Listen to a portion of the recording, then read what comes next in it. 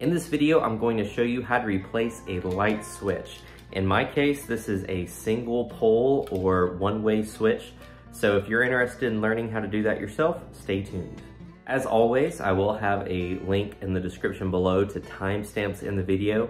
If you wanna go ahead and jump to a certain topic in the video and not hear me ramble about different things, I appreciate it if you wanna listen to me rambling, but if you wanna go straight to the content, follow the timestamps in the description below. So the switch that I'll be replacing is this switch here. It is a GE switch.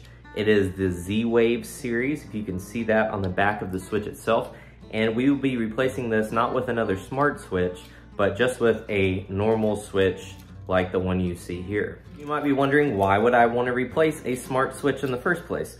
Well, it's very simple. The other night, I was having problems falling asleep and I heard the power go out, right? So the power blinked very briefly.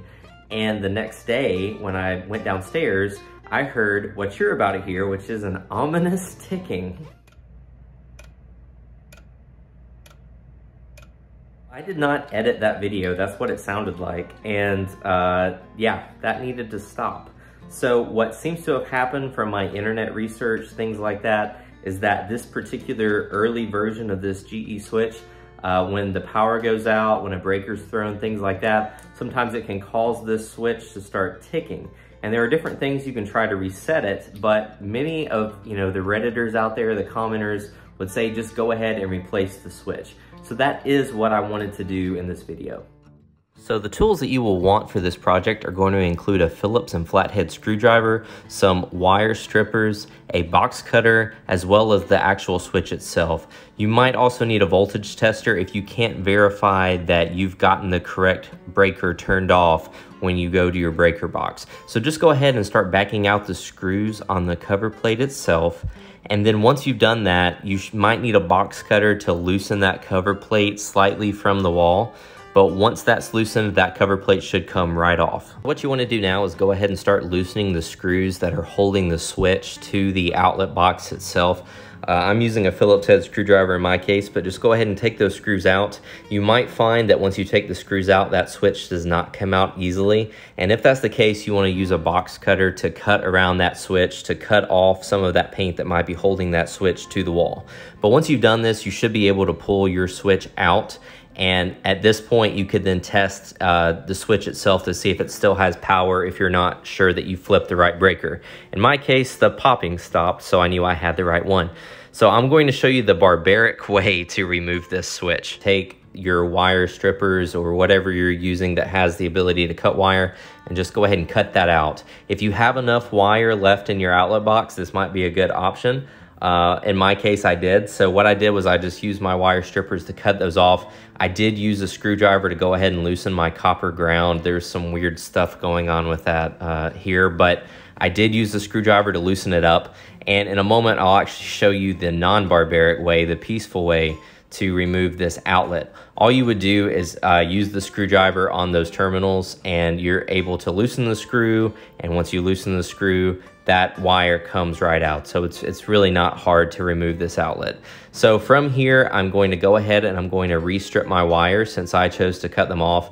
All I'm doing is using my wire strippers to do that, get nice clean contacts that I can then use to make connections to my new outlet itself. Let's install this new outlet. It's right here and ready to... It's at that moment he knew he messed up. I normally don't interject my video commentary into the middle of a how-to part of the video, but I felt like it was necessary in this video to explain the thought process that went through my head and how wrong it actually was.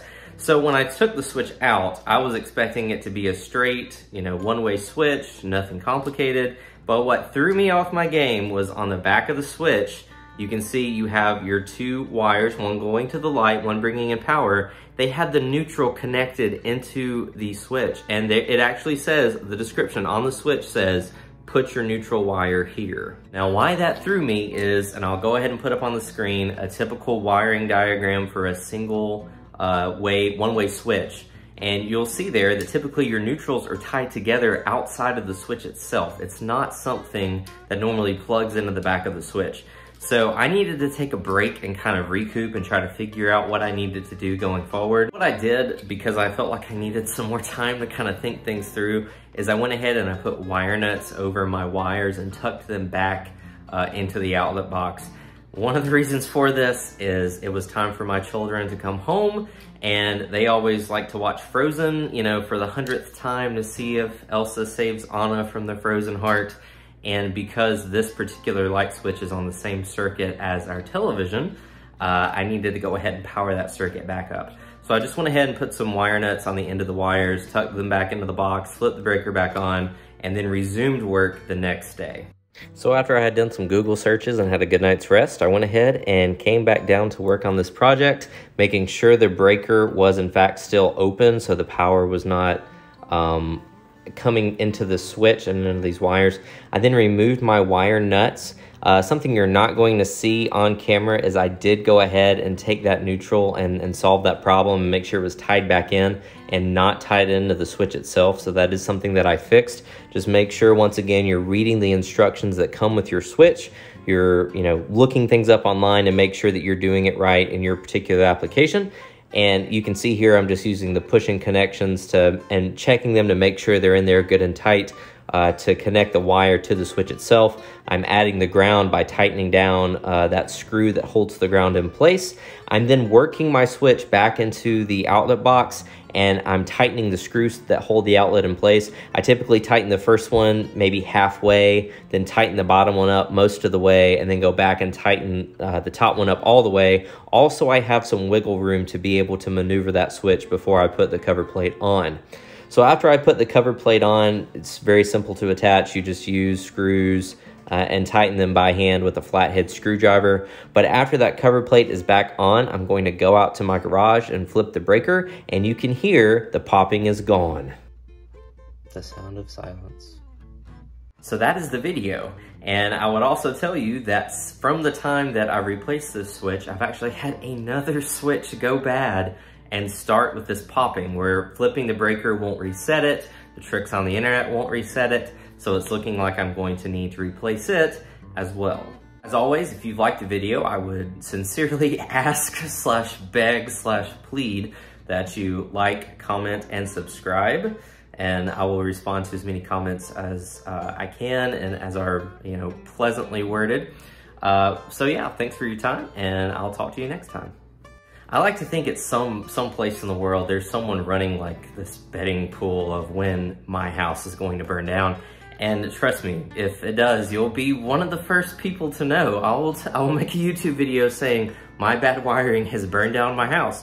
Uh, but as of yet, it has not happened. And I'm going to continue to tinker with it um, as, as issues arise. So, um, you know, bet for me, bet against me, I don't care. But like I said, I think somewhere people are, are betting. So maybe get in on the action.